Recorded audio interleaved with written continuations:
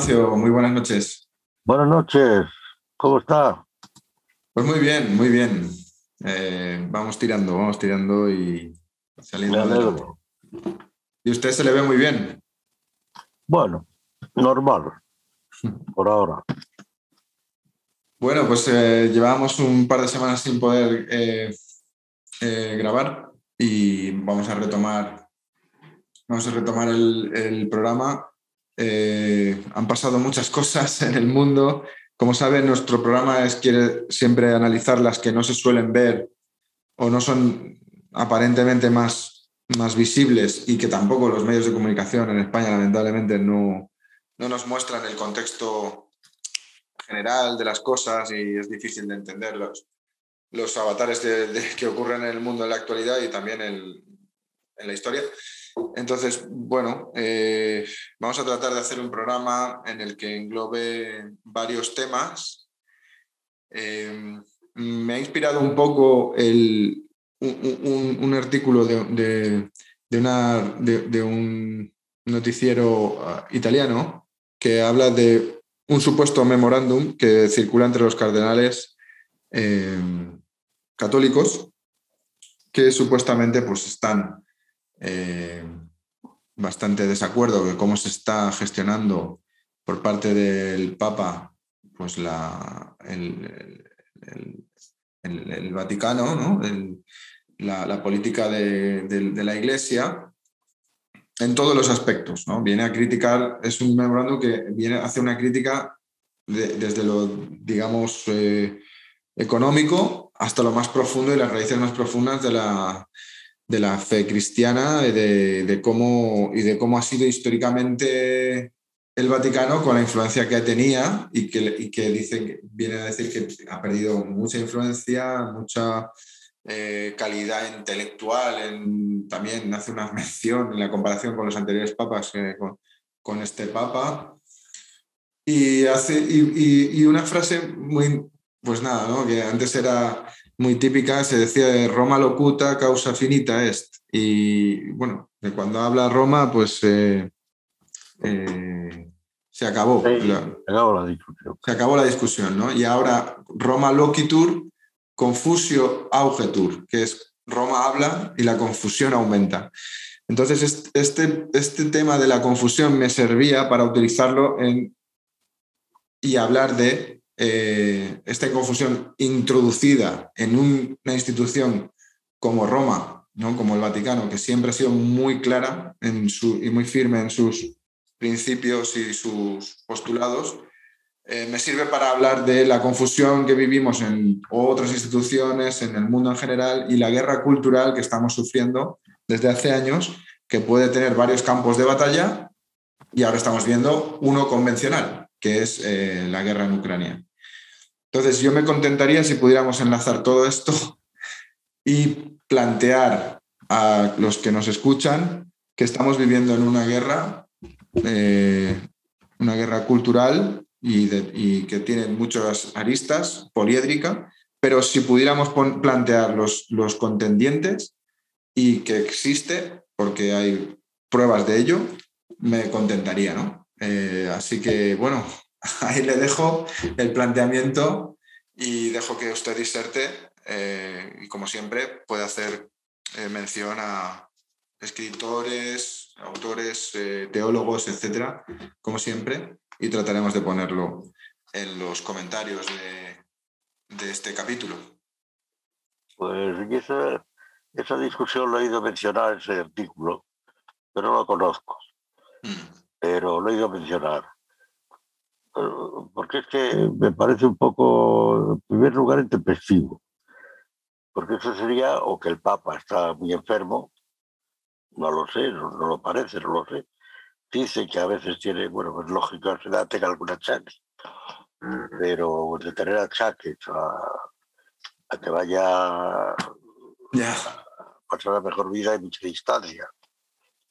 Y yo, a mí me parece un poco, no sé, un poco raro. Porque si se, está muy enfermo, que se empieza a hablar sobre la sucesión y demás, me parece correcto, pero por su edad también podría ser, pero vamos, no es para plantearlo. Eh, que por lo que cuenta es que lo está planteando como si el Papa estuviera ya en las últimas. Yo, yo creo que es más bien un reflejo de la confusión y la, el, total desacuerdo en el que, con la deriva que está llevando la política en, la política, se entiende así, la, cómo está gobernando el, el Papa. Porque también, también pensando en, en, un cónclave, también está habiendo, está habiendo movimientos de cardenales que entran, cardenales que salen, gente que entra, gente que sale. Mm. Y, y parece que eh, pues se pretenda que se mantenga esta nueva línea de, actuación. Y este escrito puede ser un poco rebelarse contra esa tendencia que está llevando la, la Iglesia. Y me suena mucho esta, esta forma de rebelarse con, con otros, otras personas intelectuales o políticos o eh, que en sus propios países se rebelan contra esta nueva cultura o como se quiera llamar, que lo está invadiendo todo y está acabando con tradiciones y valores que nos han hecho llegar hasta donde estamos, ¿no? En cierto modo. Vamos a ver, yo creo que la confusión es general en todo. Los gobiernos hoy son antigobiernos. Pensemos, ir más lejos, los gobiernos son hoy enemigos de los pueblos en general, no todos. Pensemos, por ejemplo, en cuanto a la caída de la natalidad, pues la Unión Europea, pues más aborto quiere excluir a Ucrania, perdón, a, Hungría y a Polonia porque se oponen a la, a la inmigración de musulmanes, no de ucranianos, por cierto, que son ortodoxos, pero son cristianos, y se oponen pues al, aborto y se oponen a todo eso, y a las políticas de ayuda a la, a la maternidad y demás. Y mientras la Unión Europea pues les ataca eh, con un pretexto de que se han manipulado los tribunales, han cambiado las leyes, eh, que si el Tribunal Europeo prevalece sobre los tribunales suyos, etcétera, les ataca. Es parte de la confusión. Eh, yo compararía un poco la confusión, un poco salvando las distancias, que existe en el gobierno del Papa. Ahora se dice gestión. Para la política se dice gestión y las palabras no son inocentes. Cuando se dice que gestionan bien o gestionan mal un político, es porque la política ha desaparecido también. Claro. Igual que la religión, porque el político dirige o gobierna. No gestiona. Gestionar es secundario. Gestionar se ocupa la administración, la burocracia, que sea. Pero no son gobiernos burocráticos que no. Y eso sí, gestionan con una determinada ideología pero como iba a decir antes, yo compararía el gobierno del Vaticano con el gobierno de Pedro Sánchez. Exagerando, salvando las distancias. Sí, sí. Porque ese ya ni es siquiera antigobierno, es, es un, ni desgobierno, porque el desgobierno todavía tiene alguna entidad. Esto ya no sé lo que es. Un narcisista ahí que hace deshace y la diferencia es que la iglesia, como es universal y tiene otra, eh, pues hay quienes responden todavía a ese desgobierno. Pero en España, por ejemplo, siguiendo con la comparación, ¿qué institución responde hoy a lo que podríamos llamar desgobierno para entenderlo del doctor Sánchez? Está arruinando a la nación, está enchufando a todos sus amigos. O sea, bueno, no hace falta describir. Pero yo que todo el mundo lo entiende. Sí, sí. Don, Antonio decía que un gobernante, la principal cualidad que tenía que tener era la inteligencia para sí, adelantarse a los acontecimientos y prever lo que, prever lo que, lo, que, lo que no está previsto o ordenar lo que no está, lo que no está ordenado, lo que no está previsto. Sí, y los burócratas, los, o sea, los funcionarios tienen la función de ordenar lo que está previsto. Pero claro, como usted bien dice, si, si el gobernante se convierte en un burócrata y, en, un, en un funcionario, pues pierde cualquier capacidad de anticiparse a los problemas que puedan venir imprevistos. Y, y, es más fácil también de dirigir desde otras posiciones de establishment, digamos, hacia donde interese y no hacia donde los ciudadanos les pueda interesar. Por eso quedan tan pocos estadistas, ¿no? Que siempre usted ha dicho. No hay ninguno. El único que. Ya Antonio decía que el único de estadista que había en Europa que tenía cualidades de estadista era Putin, curiosamente. Pero Antonio, que murió hace tres años, si mal no recuerdo, si son tres años ya, un poco más de tres años, la historia, o mejor dicho, la antihistoria, se está acelerando mucho. En tres años ha cambiado, él no ha visto lo que está ocurriendo. Me hubiera gustado, no solo por, por verle, sino que estuviera vivo, pero me hubiera gustado que estuviera aquí a ver cómo, cómo interpretaba el todo este mare que hay de gobernantes que son idiotas.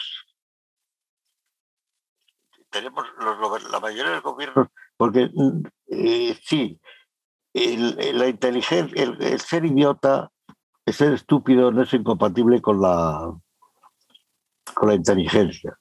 Se puede ser inteligente y al mismo tiempo estúpido. El estúpido se caracteriza muchas veces por eso, por ser inteligente, pero es estúpido, no se da cuenta que es estúpido y hace todas las estupideces que puede.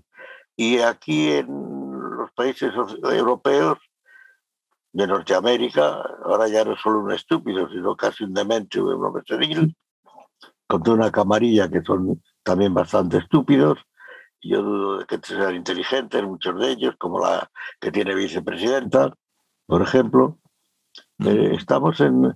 Eh, hay un artículo que he escrito yo, no sé cuánto saldrá, que, con el título La revolución de los estúpidos. Estamos asistiendo a la revolución de los eh, estúpidos. Lo voy a mandar luego, pero no lo utilice porque no, no, se ha publicado todavía. ha enviado una revista, pero no. A razón española, pero no sale todavía. Supongo que saldrá. Y estamos asistiendo a una revolución de los estúpidos. y la gente gobernada por estúpidos, pues siga a los estúpidos, porque también eso tiene que ver la educación, tiene que ver, pensemos, por ejemplo, en España, siete leyes educativas, me parece que son siete, desde la transición, a cada cual peor, además, la última ya, que además ha mandado a la autora de embajadora al Vaticano, curiosamente. Bueno, mm. pues la educación, la propaganda, los medios, Hoy la gente se educa, mucha gente por los periódicos, los que saben leer, llegará un momento que ya nadie sepa leer, a lo mejor, pero los que saben leer, pues eh, hay que leer las cosas que publica la prensa y las que no publica la prensa, porque no publica más que ideología o también son estúpidos los periodistas y no, no saben lo que, lo que es de verdad interesante. Es, encontrar, es rarísimo encontrar una opinión mm, errónea o no, eso es distinto. Una opinión puede ser errónea, pero fundada en los periódicos, fundamentada. Se puede, por ejemplo, ahora con lo de Ucrania y Rusia, eh, salen ahí, bueno, disparatadas. En España se han disparatado y gente, periodistas que parecían cuya opinión era, parecía respetable, pues yo he dejado de leerlo, por salir inmediatamente cuando Putin ataca a Ucrania con unos escritos disparatados. No, me, no quiero mencionar a ninguno, pero debería mencionarlos para que la gente se dé cuenta. Disparatados, porque una cosa es luego condenar a Putin o alabarle, lo que sea, pero sabiendo por qué. Y con una opinión, todo es opinable en el mundo de la política. Pues, sí, pero tener un mínimo de criterio, ¿no? Eh, tener criterio, pero simplemente disparatados, que da la impresión de que les han pagado. Cosa que no creo en los casos que estoy pensando, no lo creo. Pero eh, creo que responde más bien a un ambiente que hay de eh, estupefacción general, estupefacción que es estupidez general. Y yo creo que eso es lo que está pasando y está todo el mundo desorientado, perdido y, eso sí, la gente se lo cree, pues eh, a pie juntillas, lo que leen en el país, lo que leen en el, los que leen periódicos, que ya son muy pocos, los que leen el mundo, los que leen la razón, los que leen... Pues, por ejemplo, no he visto que nadie, ningún periodista de estos que parecían inteligentes, hay encontrado similitudes en el caso de Ucrania y en el caso de Cataluña. Y eso es lo mismo. Es como si aquí, eh, como si Rusia fuera España y Hungría, pues que se ha separado apoyado por potencias extranjeras. Que como se separó, eso sí, Ucrania se separó, yo hubiera hecho lo mismo. Al hundirse la Unión Soviética había aparecido ahí un nacionalismo que había fomentado curiosamente los propios soviéticos, sobre todo este Khrushchev, Khrushchev. que era que era, era ucraniano. Era ucraniano, con el regalo a Ucrania de Crimea, que era rusa, el regalo de las dos provincias que están contra, contra Ucrania porque, eh, porque contra el gobierno ucraniano, porque quieren imponer el ruso, porque además es similar, ahí es una guerra, en parte, esa guerra se porque Rusia, porque el gobierno ucraniano ha prohibido hablar el ruso y enseña solamente ruso en las escuelas, que antes había un acuerdo por el cual se enseñaba el ruso como lengua normal y se enseñaba el ucraniano. Bueno, pues no, es como si los catalanes, que lo han hecho ya, pero claro, aquí tenemos al, al, señor González, que es un, que yo cada vez estoy más convencido de que es verdad que está manipulado por Soros, que también Soros ha intervenido y ya le ha hablado públicamente sobre el conflicto de Ucrania, odia a Rusia, y está interviniendo ahí también. ¿eh? Este parece ser el, ¿cómo se llama? Zelensky. Parece ser un personaje eh, criado a los techos de Soros o de y de sus organizaciones. Sí, por eso, por eso el, objeto del programa era un poco eh, poner luz donde no hay, porque es todo confusión pero es que... no, Lo vamos a, no lo vamos a aclarar, pero sí conviene poner los puntos sobre las ahí. Claro, porque a veces simplemente planteando las cosas sin, sin, opinar, simplemente el planteamiento de esto mm. es así, esto, esto tiene estos antecedentes y, y aquí hay unos contendientes y unos intereses y hay unas similitudes en situaciones que de modus operandi. con el tema de la confusión empezó con la iglesia porque la Iglesia entra en una misma confusión. La Iglesia, por ejemplo, en España está en barrena y además calla todo. las conferencias episcopales machacan a los obispos que todavía son obispos o quieren ser obispos, monopoliza todo y resulta que no ha dicho ni media palabra sobre la legislación que está sacando el gobierno. Sí, sacan alguna notita de vez en cuando y tal, pero medio escondida, medio tal, que no dice nada, en vez de declarar la guerra. es para declarar la guerra, hablando en términos un poco exagerados. Declarar la guerra, pues, pues, no, mire usted, señor Sánchez y compañía, pues, pues no, esta ley no puede ser, la otra tampoco, por esto y por esto y por esto, y puntualizando. Tiene además la Iglesia, por ejemplo, la, la predicación, que todavía hay en España, porque aquí ha habido un ataque al cristianismo con la, eh, la transición tremendo al catolicismo exactamente. Eh, ha habido un ataque tremendo y hoy ya va menos gente a misa y hay mucha gente que ya no va a misa, por decirlo así, aunque no sea solo eso, claro, pero sobre todo la misa, eh, mucha gente que ha dejado de ir a misa eh, por razón de que está desconcertada por lo que dice el Papa y porque aquí las homilías pues son el otro día en una misa me llamó la atención que en una misa de un era eh, era en dónde era era en era en Ecuador me parece. No era en Perú Perú. Una misa de estas eh, televisadas en Perú que sí en la homilía el sacerdote echó un rapapolvos a los políticos orientada además con buen sentido, no era tampoco una declaración de guerra, pero diciendo que no podía ser esto tal, que los políticos eran corruptos, claramente esa palabra la dijo. La corrupción que hay en Perú, tal, tal, tal. Aquí a la iglesia le, tiene, es indiferente. Y bueno, y lo mismo ocurre en Roma. En Roma, pues parece que el ideal del Papa pues sería Venezuela, a veces parece, porque tan pronto dice una cosa como la otra. Hmm. Yo creo que el problema del Papa es el, el problema que del principio de Peter, de que ha llegado a su nivel de incompetencia. Y no sabe qué decir ante la realidad, pues le, le sobrepasa, no sabe qué, qué opinión qué decir. Probablemente también a lo mejor puede estar manipulado, no lo sé, por la gente que tiene alrededor. En fin, decir por qué de las cosas hoy es muy difícil, pero sí que, que la gente se dé cuenta de que no es dogma lo que lee y lo que oye. Sí, porque, a ver, un referente para, para la sociedad civil siempre había sido la iglesia, ¿no? Sí, equivocándose muchas veces, pero bueno, pero, pero se mojaba. Claro, entonces. Pero el silencio sepulcral o, o el chihuana. Siempre estamos hablando de lo mismo en el sentido de que se están perdiendo los referentes para una sociedad civil que cada vez está más perdida. Esa es la palabra, la que ha dicho usted, referentes. Que el, que el pueblo no tiene referente ninguno. No tiene. Y es, no me parece casual. Eh, yo creo que eso forma parte de la guerra que se está, se está librando, en cierto modo, contra, contra nosotros, contra de dónde venimos y de lo que somos, ¿no? Sí, el suicidio de, de Europa, de España, de, del mundo occidental.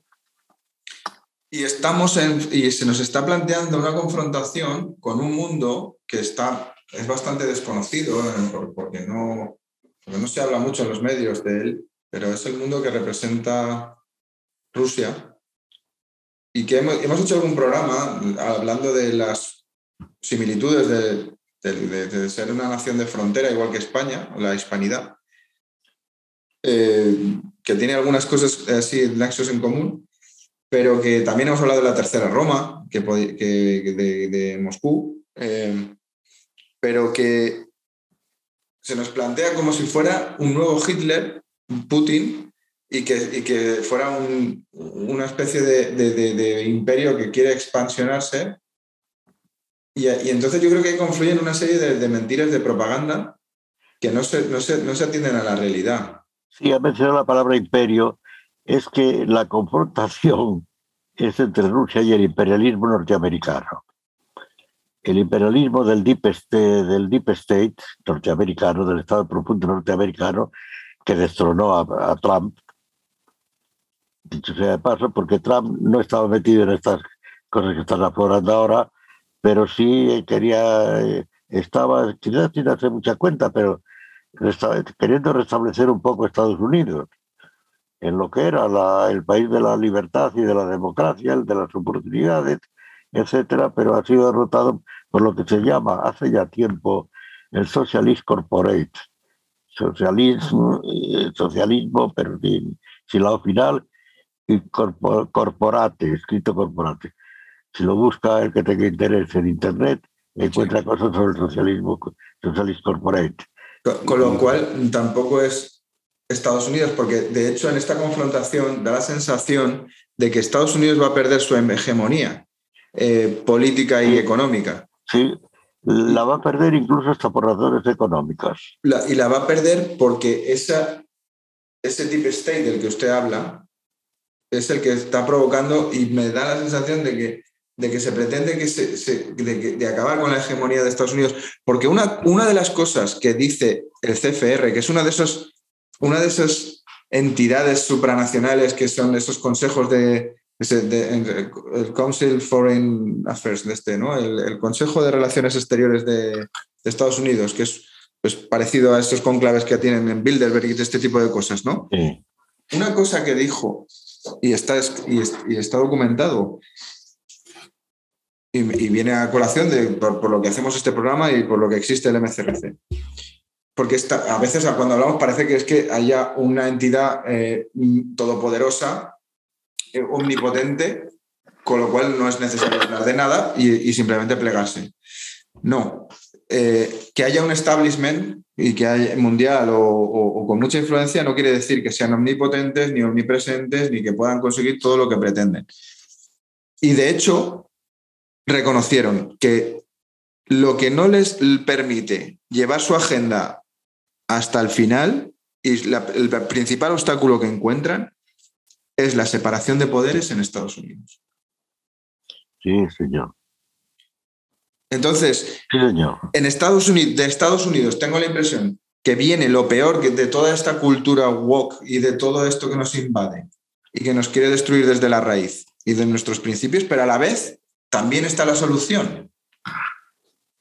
Y, dependiendo de, cómo se maneje eso, pues tendremos más opciones de volver al camino, al camino correcto. Que paradójicamente, un oligarca como Putin, en mi opinión, en el fondo, está defendiendo esos valores que hemos perdido.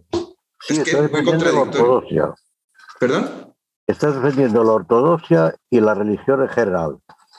Él habla, hay un discurso, yo no sé si lo han visto, yo no sé si lo he mencionado alguna vez aquí, como, como tengo varios a que la respuesta, a veces pues no sé ya dónde lo digo.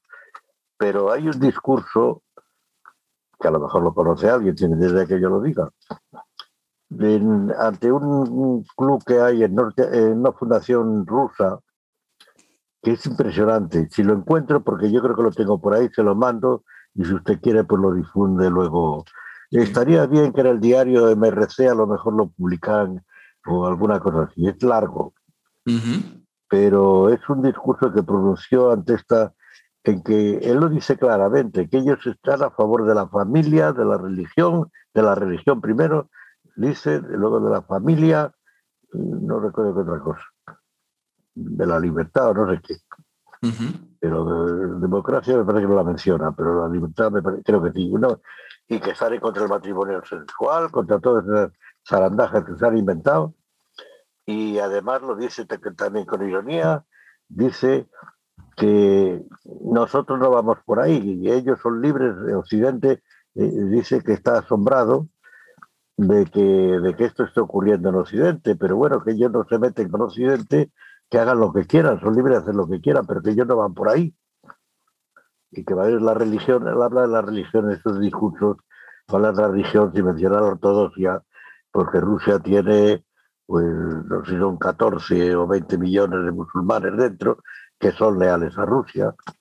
Eh, tiene, eh, tiene también budistas, eh, que deben ser unos millones también, no sé cuántos millones, lo he leído en algún sitio, pero son cifras un poco inexactas y, también otras confesiones, pero religiones, pero que son religiones, o que funcionan como religiones. Él no está en contra de la religión, etcétera, aunque él parece que es ortodoxo, él no hace nada sin contar con el eh, con el patriarca de Moscú, del cual dicen ahora que era un agente del KGB.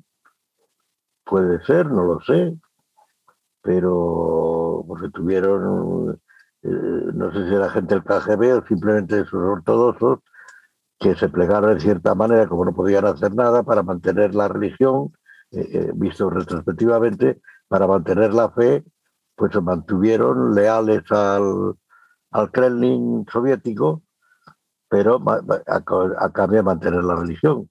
Que además el propio Stalin revivió la religión en, Francia, en, Rusia después de, de perseguirla porque lo necesitó para la guerra contra Alemania, si no, no se movían los, los rusos. Y entonces dio una cierta, entre comillas, libertad a, a los rusos, a, a, los ortodoxos. Y, las cosas, en la historia las cosas son muy complejas. Por eso decía Ortega que es muy divertida, en el sentido de muy diversa. Y a veces también resulta divertida en otro sentido de la palabra. Pero como ahora mismo, ahora es, un tanto divertido lo que está ocurriendo. ¿Qué, ¿Qué, le iba a decir a Hegel, a Tocqueville, a Donoso Cortés, o en tiempos más recientes, pues a todos los europeos que presenciaron el nacionalsocialismo y demás, y que Norteamérica vino a echarles una mano, si no Norteamérica, hoy todos seríamos nazis o bolcheviques a lo mejor ya había reventado también, porque eso, eso empobrece a los pueblos, etcétera, y a lo mejor no se hubiera resistido, sabemos lo que hubiera podido pasar. ¿Qué me iba a decir a los europeos? También de que hoy Norteamérica, la Norteamérica de Biden, del Estado profundo, que hoy sería el Estado el que expande ideas de las más totalitarias, más totalitarias que las de la URSS o que las de Hitler. Sí porque ellos es verdad que aniquilaban a la gente. ¿Pero a quién aniquilaba la gente? A los judíos porque se metían la cabeza o para buscar un chivo expiatorio o por lo que fuera, de que eran el enemigo. eh, los soviets, ¿a quién? Al, que no era proletario, los burgueses. Porque era su. Pero era enemigo concreto. Pero aquí es que ya ni hay enemigo concreto. Bueno, el concreto es el que obstaculiza a esta ideología woke, etcétera, que viene de Norteamérica, eh, se concretiza en Rusia, se concretiza en, en el Papa se concretiza en quien sea. Sí, ahora estamos viendo, estamos viendo que está habiendo una censura en nuestro lado occidental libre de las democracias eh, perfectas, ¿no? Y todos estos sistemas ideales que queremos exportar a, todo el mundo. Estamos viendo cómo se, censuran medios de comunicación, como si eres, si eres ruso, ojo, que estoy viendo, si eres ruso deportista, tienes, están, están diciendo que hay un, hay, un, tenista que ha sido número uno recientemente, ruso. He leído la noticia que se está jugando su participación en Wimbledon si no se pronuncia en contra de, de Putin. Algo así he leído yo. Esto era un procedimiento hitleriano. Hitler le dejaba que se pronunciaran no a los enemigos. Si pronunciaban a favor, todavía tenía cierta compasión los soviéticos de cuando dudaban, los bolcheviques de cuando dudaban eh, fusilado. A cualquier tibio A los tibios fuera. Pero es el mismo procedimiento, es que, eh, es que Europa está muy sovietizada, no bolchevizada. Hay un matiz entre soviético y bolchevique. Bolchevique es más radical. Sí. Vamos, el uso de la palabra. Es lo mismo, pero pero el uso de la palabra es más radical bolchevique que, que soviético. Eh, Europa empezó a sovietizarse en parte eh, no solo por los partidos comunistas y partidos socialistas, el socialismo es lo mismo, es una sovietización más suave, pero eh, mediante la legalidad, etcétera, pero y consigue los mismos fines. Y, y, ya al terminar la guerra sobre todo. Hubo disidentes rusos que vinieron a Europa y al venir a Europa, escapando porque les dejaron escapar, uno de ellos eh, famoso es Buchowski, Vladimir Buchowski. No sé si le conocen, si no, eh, escribo luego la palabra bueno, luego lo escribo porque si no me pierdo. Sí, tranquilo. Voy a escribirla ahora. Buchowski, que se quedó asombrado y dijo que cuando volvió, en los años, a finales del, siglo pasado, vino a Europa y, se, al poco tiempo, el año, por el año 2000, ya dijo rotundamente que estaba asombrado porque Rusia, porque Europa, perdón, era la nueva Unión Soviética. Luego hubo otro Samiatin que vino aquí, a Europa, y, observó la, misma cosa y entonces se volvió a, la Rusia comunista cuando ya había, eh, se volvió a Rusia cuando ya había caído la URSS, pero se unió al Partido Comunista, que le parecía más sensato que lo que había en Europa. Y hay más, no me acuerdo ahora, hay algunos más. Bueno, el propio Solzhenitsyn, Solzhenitsyn. El discurso el famoso discurso de Solzhenitsyn en la universidad, una universidad norteamericana. Y más cosas que escribió que se pueden encontrar en internet casi todas. Todos se quedaron asombrados de cómo estaba Occidente, de cómo estaba en cierta manera sovietizado o bolchevizado. Bueno, esta, contradicción estamos viéndola en los países que están ahí, eh, que han vivido esta, en, medio de la confrontación de la Segunda Guerra Mundial y, han vivido en el lado este, ¿no? del lado de, del muro de, Berlín, del, telón de acero, pues, pues como los países como Polonia, Hungría, Eslovaquia, Chequia o incluso Austria. Bueno, Hungría no está tan en contra de Putin en este momento. No, no, no. Ah. En contra de Putin, no. No, no. Estoy diciendo la contradicción que están viendo en Occidente que les recuerda a lo que vivieron en, la Unión Soviética. Sí, sí, sí. Y, que, y, que ahora, y que ahora no, no están con Putin, eh, obviamente, pero, pero tampoco están de lo que se les ofrece del otro lado, porque les están, les están poniendo entre la espada y la pared y están, están pensando en, sus, en, sus propio, en, sus propios, en sus propios civiles, ¿no? en su propio eh, pueblo. Ciudadanos, claro. Claro, eh, dicen, yo tengo que llegar a acuerdos que sean lógicos y, no puedo, no puedo eh, ser aquí, pues eso, la muleta de, los intereses de, en este caso, del Deep State en Estados Unidos o de la OTAN o de lo que sea, a costa de poner en riesgo a mi población. Y, y, también, y, se, les había, se les había criticado antes de este conflicto de, pues, que, de que se, habían, se habían, hecho, pues, pues estaban creciendo partidos conservadores, etcétera, y, que a lo mejor, y que no eran solidarios con la derecha. derecha. y que no eran solidarios con, con la inmigración y están dando un ejemplo ahora recibiendo, recibiendo a todos los ucranianos. Eh, todos los ucranianos que han tenido que desplazarse. Dicho, dicho de paso, muchos ucranianos escapan porque hubieran escapado ya antes si pudieran de Ucrania. Sí, de hecho sí. Porque estaban hartos de la corrupción y de, de, cómo, de cómo estaba allí dentro. Sí, sí, se nos está presentando a este Zelensky como si fuera un héroe, pero tenía el país también. Es un comediante al que han puesto ahí. Es, es una comedia. Es un títere. Trágica, pero más bien un drama.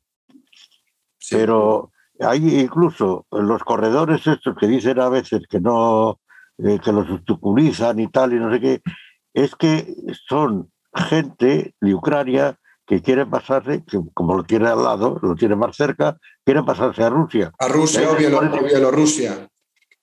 A Bielorrusia o a Rusia. Pero no les dejan. No les dejan. Claro. Y muchos de los que vienen aquí, es eso, les han dicho que, que aquí les tratan bien y tal. Pues vámonos allí, vamos a aprovechar que somos exiliados de la guerra esta que hay y entonces nos tratan a cuerpo de rey, nos tienen allí y luego ya veremos. Y escapamos también de Zelensky y, a lo mejor también, y muchos también a lo mejor quieren escapar de los rusos. Pero, pero, pero es un engañifa todo eso, ¿no? Sí, usted, usted ha tenido contacto, el, el, un día que le llamé que no podía hablar, creo que estaba usted en una reunión con alguien que era profesor de ruso, ¿o puede ser? Sí, un profesor ruso, amigo nuestro hace ya tiempo.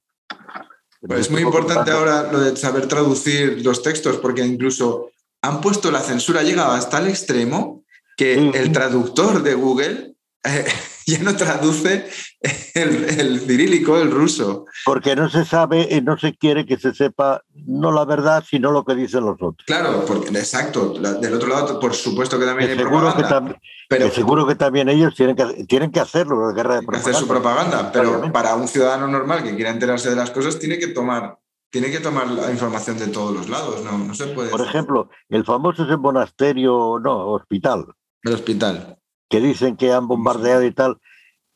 Lo han bombardeado, pero cuando ya no había nadie porque estaba ocupado por estos que dicen que son nazis, que son del batallón ese o el batallón Azov, que, son mercenarios o que son, yo qué sé, no lo sé muy bien lo que es.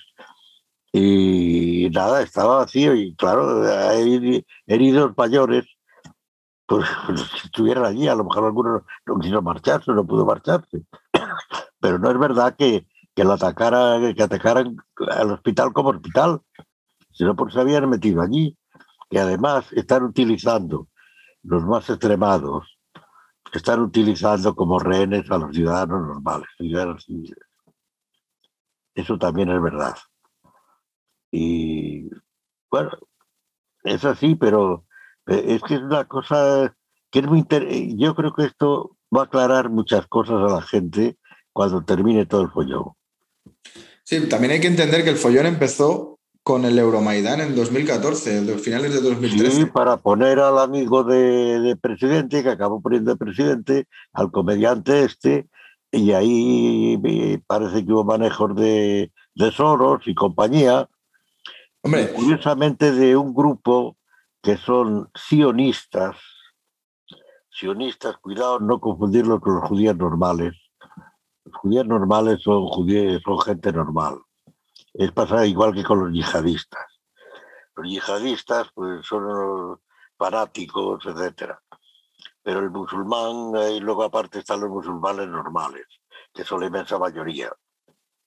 Tampoco hay que confundir las cosas. Y son, oligarquías, grupos que quieren hacerse con el poder, que quieren vivir a costa de los demás, etcétera, que punan de una manera o de otra.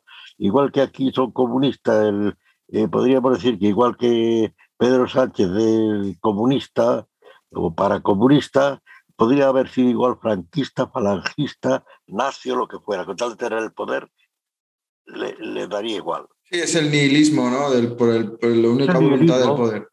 Claro. Es un poder nihilista que están ahí, gente nihilista que está ahí y que quiere y que para los cuales solo cuenta la voluntad de poder.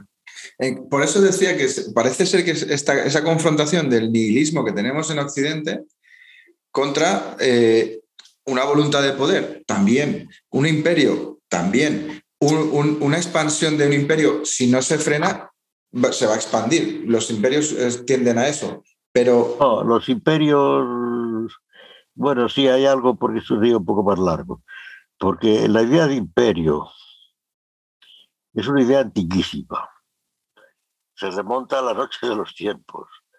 La primera forma política, aparte de las formas más o menos tribales, fue probablemente el imperio, surgieron en Oriente.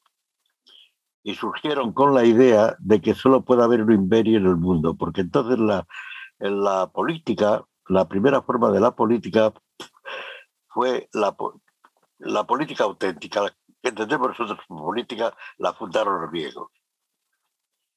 Pero antes no es que no hubiera algo parecido a la política, pero la política es siempre de tipo imperial, porque existía la idea de que el orden del mundo tendría que acomodarse al orden astral, al orden de los astros. Tendría que ser un, igual que el... Como más arriba, es abajo. Está ordenado, la Tierra tenía que imitar aquel. Y entonces ahí surge la idea de imperio, unida a esa forma de orden y los, que surgieron en el Oriente y los imperios pretendían que ellos eran el único imperio, el que representaba a los dioses, la voluntad de los dioses, el orden divino. Así establecieron el chino, pero luego muchos más. Genghis Khan, Khan es un caso típico porque él argumentaba que eh, estaba, tenía que conquistar la tierra para establecer el, el, orden divino, el orden imperial, que es el orden imperial. Los imperios derivan de ahí. Luego hay otras modalidades, los imperios, que el imperio romano obedecía al mismo, al mismo tipo de imperio, que era el imperio de Alejandro, hereda el imperio de Alejandro, y el califato, que es la idea de imperio del Islam, hereda la idea de Alejandro, que es la que le importa hacia Europa, hacia Oriente, hacia hacia Occidente, entonces no era Europa todavía, tal como la conocemos. Y a la misma idea de que es el único imperio. El Sacro Imperio Romano, la resurrección del Imperio Romano por la Iglesia, es que el paralelo, ahí entraría ya en juego en el caso del cristianismo las dos ciudades de San Agustín. La idea de imperio es que el, imperio tenía que ser el brazo, por decirlo así, estoy simplificando el brazo armado de la iglesia. Nadie lo decía en aquel momento. Para, eh, contra el mal. El brazo armado contra el mal. Porque Satán está siempre tratando de imponerse, etc. Y se fundó con esa idea de que la iglesia, que es universal, y el sacro imperio tendría que ser también universal. Cuando, como pudiera nació para defenderse fundamentalmente de la regresión musulmana, de los imperios, ya no imperios musulmanes, luego también el otomano, etcétera, etcétera. Eso viene la idea de imperio aquí, a Europa. Entonces, pero la idea de imperio ahora que la representa, en ese sentido, es Norteamérica. Es el imperialismo norteamericano, que se ha desarrollado poco a poco, porque es verdad que eh, al quedar eh, solamente el imperio soviético la URSS, que era un imperio, que pretendía, que además pretendía ser el imperio del mundo, porque pretendía la idea de Lenin, la idea de Stalin. Entonces, Stalin luego lo nacionalizó por razones prácticas. Dijo que el socialismo era un solo país y que de ahí luego se extendería por los demás, etc. Pero la idea de Lenin era que Rusia fuera el Estado o el imperio universal, que todo el mundo fuera comunista, según lo entendían ellos. Porque tiene unas raíces muy profundas de, todo el repaso que ha hecho histórico, ¿no? Viene, viene también de, esa... De, todo, tiene, todo tiene con la historia. Es que estamos en una época histórica y eso es lo que tener en cuenta los periodistas estos que escriben alegremente y se lanzan, ay, Putin, que no sé qué, o el otro está, no sé qué. Tonterías porque no saben nada. y, habrá que decirlo, porque siempre hay que decirlo, aquí esto no es, una justificación de nada. Estamos no, no, no, las, porque las cosas, hay cosas que tienen, no tienen justificación, pero tienen explicación. Exacto. Se trata de entender las cosas, no entender las cosas, nada más. No de, no de ponerse de un lado o de otro, ni nada por el estilo. No es, sentar cátedra. Es, eso. No es de lo, Roma locuta, causa habilita. No, es, simplemente poner las cosas. En Rusia, por ejemplo, el conflicto este, ya que estamos con él, Ucrania, Kiev, Kiev, Kiev y la iglesia de Kiev son los que fundan Rusia. Ese cualquier manual de historia elemental, no es las historias que a lo mejor enseña la señora Berlarna o como se llame, la, al Vaticano, o los manuales españoles. y de ahí pues luego apareció, eh, se pasó a Nogorov, etcétera, a Nogorov, a, Moscú y se estableció la capital en Moscú. Es el origen de Rusia. Sí, el origen, la, la Rus de Kiev, ¿no? Es la primera. La Rusia de Kiev, la primera Rusia. Yo tengo un artículo por ahí, si lo encuentro se lo mando. No sé si lo tengo, no, me parece que lo tengo en, solo en un libro que hay. Bueno, eh, el libro de colectivo. que ahí se puede hablar de cinco Rusias la primera es la de Kiev y luego se va aumentando y es la Rusia actual. Eh, eh, Ucrania es para los rusos algo así como para los asturianos España cuando dicen Asturias es España y lo demás tierra conquistada. es una exageración, bueno, pero pero bueno, se entiende, además no lo dice con esa intención.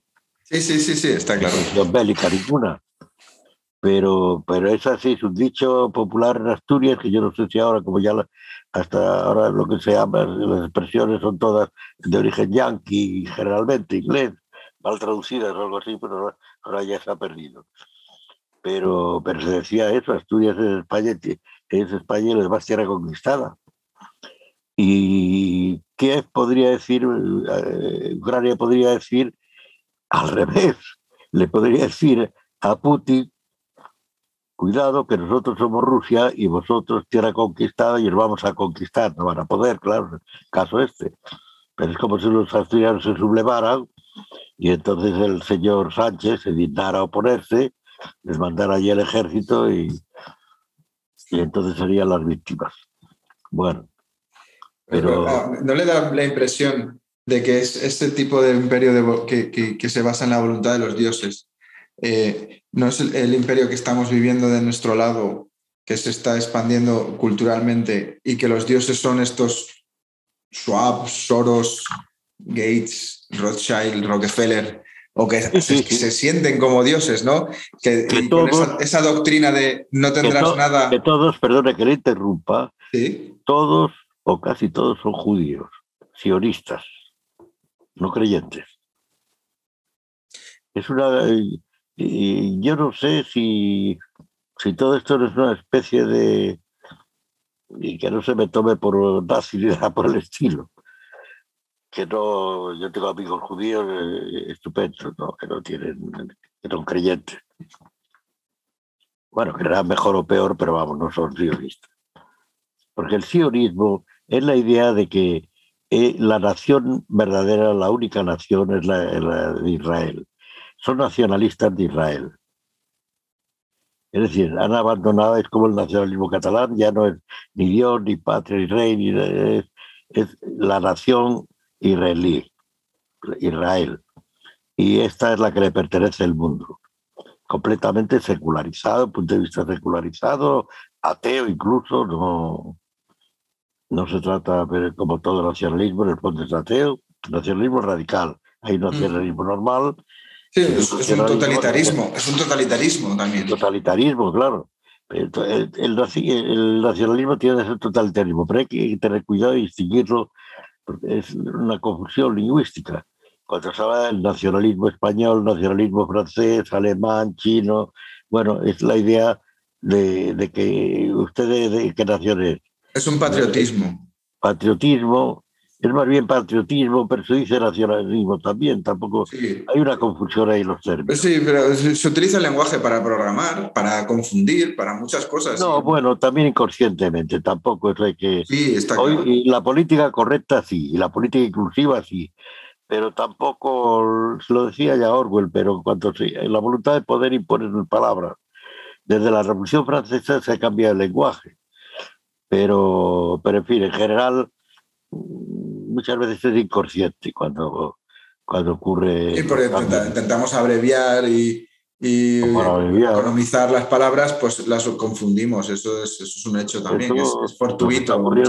El, con el aparatito este, con el, el teléfono móvil. Los chicos, la gente, mucha gente ya, que no escribe Q, U, E, sino pone o la Q o la K. Ya. Nada más y hay más palabras, no, me acuerdo cuál es, pero hay más palabras. Es corriente, es normal. Lo que pasa es que quizá con un exceso por el aparatito móvil ese, que se debía prohibir a los menores de edad. Sí. Se debería prohibir. Hay consejos de médicos serios que dicen que se está cambiando mentalidad, que está eh, que además está perjudicando a la inteligencia, al cerebro. Hace tiempo, no sé ahora, eh, cuando aparecieron las primeras maquinitas en los colegios alemanes, aquí en España también el colegio alemán, lo digo porque mis hijos los mandamos al colegio alemán y suizo. al alemán no, pero al suizo. El alemán era lo mismo. Eh, no sé si el francés también, en otros a lo mejor también. Y creo que todos los españoles también. Entonces, se les prohibía utilizar la maquinita para calcular, por ejemplo para cualquier cosa. No podían utilizar la clase la maquinita. Porque el calcular, si yo busco la maquinita, sé cómo maneja, le preguntan, tres, cinco y tres, ¿cuántas son? Maquinita, tal. En vez de con la cabeza, bueno, es muy fácil tres y tres, pero 1200 y, y 4775, tú usted. A ver cuántos son, que era un ejercicio que antes hacía. Eso desarrolla la inteligencia y la comprensión y todo. Pero si voy a la maquinita, pues ya no. Y si la maquinita se equivoca, no me doy cuenta además. Claro. O me he equivocado ya al poner un número, no me he dado cuenta. Y se equivoca. Bueno, son todas las peculiares. Ahora que una de las causas de lo que ocurre es que eh, la educación ha caído en manos de pedagogos, que parece que son los indicados, pero los pedagogos han exagerado su cometido como siempre, el poder tiende siempre a crecer y al ver que tienen poder, pues han empezado a elucubrar lo que les da la gana.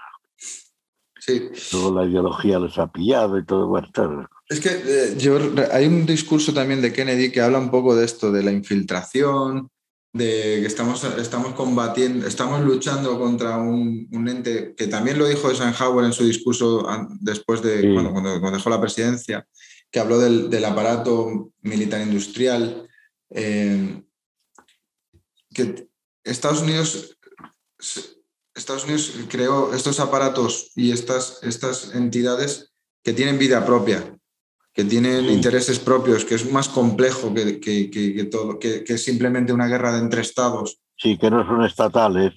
Sí. Sino que son, como deben de ser, deben ser libres, pero cuando deben ser libres, pero eh, también tienden a influir. Y si hay políticos corruptos, las, eh, las guerras de Libia y todo eso que organizó la, la Clinton, y con el presidente, presidente Obama, sí. se, se dice. Premio Nobel de la Paz. Sí, eh, por ser negro nada más. Si es que los premios Nobel tampoco sirven para nada ya, ¿no? Y dice, yo, yo veo los de la paz, es ridículo, cojan el catálogo como ellos eh, cambiando las cosas. Catálogo que se encuentra en internet, el catálogo. Sí. Bueno, y los premios, todo el premio Carlomagno, bueno, el premio Carlomagno, pues es el rey Juan Carlos. Sí. Y el otro creo que es Felipe González. Y hace poco Angela Merkel. pues es posible también Angela Merkel. Va. Pero los premios no, ya no, no digamos los príncipes de Asturias, que al principio quizás empezaron mal para dar a conocer a alguien, mm. pero ya hace ya tiempo que son. no, no vaya a ser que se lo den a usted en algún momento. Pues no me vendría mal, porque me parece que son 5 millones, no, eran 5 millones de pesetas, ¿no? Ni idea. No sé Ahora será en euros. En, euros no tengo ni idea. Antes que eran 5 millones, eh, ese es el equivalente, no me vendría mal. Pero voy a ver si busco alguna recomendación. A ver si, o decir que soy ganchista. Declararme ganchista, a ver si me lo dan. Pero, no, pero es que estamos asistiendo a una degeneración de todo, que por otra parte es el fin de una época también yo creo que es el fin, todo esto que vemos en negativo puede ser positivo, porque es acabar con una etapa, con una época, la época moderna contemporánea, bueno, como se quiera contar, y comenzar otra nueva época. ¿Cómo será? No lo sabemos. Pero yo creo que estamos en un interregno. En un interregno porque Simplemente la técnica hoy es un factor muy importante. Todo eso que estamos hablando aquí, sin la técnica imposible. La guerra hoy de Ucrania es sobre todo una guerra de información. Sí. Por debajo está la guerra real. Más exagerada o menos exagerada, será muy mortífera o no será tan mortífera, no lo sé. Pero es una guerra de información. Pues han suprimido la información del enemigo asumido de una manera ridícula, que no era como la Segunda Guerra Mundial, sí, que había menos recursos técnicos, entonces era, si acaso, la radio. Sí, o la guerra civil, que podías escuchar en una radio ahí. O en la guerra civil, pues eh, eh, se controla pues la propaganda contraria. Hace tiempo, eso ya pasó. Ahora con Internet, con la televisión, con esto que estamos haciendo nosotros, ahora con el sugeste, con todo eso, eso ha cambiado. La guerra es mucho más total por otra parte. Pues más total porque comprende ya a todos, así como las guerras, la Primera Guerra Mundial fue ya una guerra total, que son las guerras que incluyen a la población civil, por una razón, porque las mismas, eh, las mismas armas técnicas, inevitablemente, aunque no lo quieran, causan víctimas de la población civil. Hasta entonces no había ocurrido. Qué interesante eso que está diciendo. A lo que algún salvaje pues quisiera también matar a alta población civil si ganaba una batalla. Como ha ocurrido en la historia muchas veces. Que se entraba en una ciudad, se derrotaba en una ciudad, en las antiguas, en todas partes, y a lo mejor se pasaban cuchillo a todos los hombres y mujeres que quedaban niños, que quedaban allí, les llevaba como esclavos. Eso ya no. Pero sí ocurre en la Primera Guerra Mundial, y claro, el avión lanza bombas, es un arma de combate nueva. Si no lo utilizo yo, lo utiliza mi adversario. Y, entonces yo he hecho una bomba, por mucha precisión que tenga, pues no puede evitar que pille a alguien. A lo mejor los civiles o que hay en otro sitio. Sí. O puede ocurrir ahora lo que está ocurriendo en Ucrania. Por mucha precisión que tenga. Pues puede ocurrir así. Son mucho más totales porque la potencia de la técnica ha aumentado. La capacidad de las armas con la técnica ha aumentado enormemente. Sí, menos mal que hasta ahora no se utilizan armas atómicas, lo utilizó Norteamérica precisamente, que no puede dar lesiones a nadie, contra el Japón. Y además, curiosamente, según apuntó un, eh, algún obispo norteamericano, a Nagasaki y Hiroshima, que eran las dos poblaciones donde había más católicos. Sí, porque Norteamérica era protestante y la política norteamericana es la política protestante. El puritanismo está detrás de la política norteamericana, por eso tiene muchos fallos en política exterior que a veces no se enteran de nada. Esta manía misma de, imponer su, la democracia, que es, lo entienden la democracia por su democracia. No van a imponer la democracia, digamos, en Irak, si son musulmanes y además eh, tiene una historia detrás. Una historia larguísima. Por no como Norteamérica, que es un país joven, que todavía está sin estructurar, que los problemas que pasan ahí, entre, que están pasando con Trump y, y, los que mandan, es un poco, se ve que es un país sin hacer, con eso los emigrantes, por ejemplo. ¿Qué hacemos? Es un país de migrantes, sigue siendo un país de migrantes. Y, si van en masa, pues es un país sin hacer, como ocurre ya no tanto con países sudamericanos. Son en parte países sin hacer porque eh, la fuerza viva, los que trabajan, que es lo que nos puede pasar aquí en Europa, si viene mucho inmigrante eh, de culturas distintas que son países sin hacer, eh, por hacer. Países sin hacer. Ayer leí un artículo en una revista alemana que hablaba de eso, se titulaba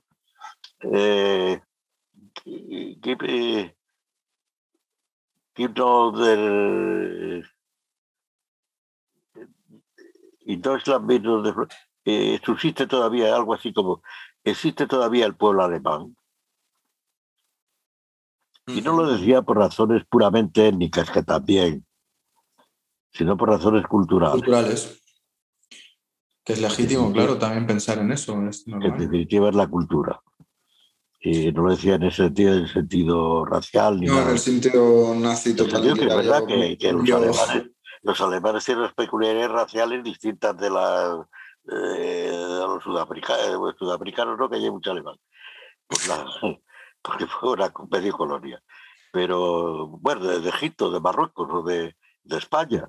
Está claro. Y otra, esto, que ha dicho, es que ha dicho una cosa con el tema de la técnica, claro, es que ahora se lanzan bombas mediáticas, se lanzan bombas de ingeniería social, se lanzan bombas de movimientos migratorios y de refugiados. Eh, eh, es otro tipo de guerra. es, la guerra total, que, al avanzar la técnica, también mejora la técnica para hacer la guerra. Claro, porque y para incluso introducirse en las mentes y, crear un, gran, o sea, crear eh, conflictos sociales de, partir naciones en dos o, en tres. Los inmigrantes que vienen a Europa no vendrían antes, muchos vienen porque han visto la televisión. Piensa que aquí se ata, se ata los perros con longaniza. Entonces, ¿por qué no me voy allí que como bien y que, bueno, eh, la televisión ha variado eso y luego para venir, pues hoy una barcaza antes, eh, piensen ustedes, atravesar el Mediterráneo en la Edad Media. Por Gibraltar todavía, pero los Dardanelos, pero no era tan fácil. No pasar un ejército entero, y no, puede pasar cien mil. Hay una novela sobre esto interesante que toca, que ya antigua, pero de un escritor francés, muy buen escritor que no recuerdo el nombre, la, es la como es la emigración de los santos, no, la que está editada por Altera, que la han vuelto a reeditar me parece que con otro nombre. Yo lo tengo por ahí en algún sitio, no me acuerdo. La, la navegación de los santos, la emigración de los santos, o algo así. Mm, no me acuerdo del autor, que se me olvidan los nombres que es muy interesante. Y es que llega un momento en que llegan a Marsella, me parece que son uh, barcos con un millón de migrantes. Perdón. Ya es la hora de No. Uh, sí. Diga. Es que estoy en el programa. Ya, es que yo me quiero acostar y tengo que poner la cura todavía. Ah, bueno, sí. ¿Qué hora es? Ya está. Ah, no, ya cuento. Bueno, está tan animado que no me acordaba, no me lo cuento. Bueno, pues ahora mismo vamos. Bueno, voy. Bueno, Dalmacio, no le entretengo más. Muchas gracias como siempre. Nada. Eh, y continuaremos porque creo que esto da, para mucho. Eh, tenemos esta guerra cultural, tenemos este planteamiento torticero que nos mandan los, los, medios de comunicación y hemos intentado profundizar, que es lo que no se hace en los medios de comunicación tradicionales. Estamos utilizando la técnica para defendernos de las bombas que nos llegan. Sí, Estas bombas sociales. Sí. el gran problema es, eh, en parte, la técnica, la técnica sin control, que, que hay por ahí que revisaba ya. Hay un libro muy bueno que la ética de la responsabilidad eh, está traducido en alemán. Eh, no me acuerdo tampoco el nombre, de hace ya años. No ha visto esto ni mucho menos. No ha visto lo de los diez últimos años desde, 1900 y pico, final del siglo pasado. Porque se ha acelerado mucho la historia, se están acelerando las cosas. Este libro habla de ética y dice que habría que, que pensar en una ética para controlar la técnica. Y eso es verdad. Es muy verdad. Bueno. Pues, pues lo dejamos ahí. Creo que es un buen final para. Yo creo que vamos a hacer dos partes de este tema. Y les emplazo para la semana que viene. Muchas gracias, Dalmacio, como siempre. buenas noches. Venga. También.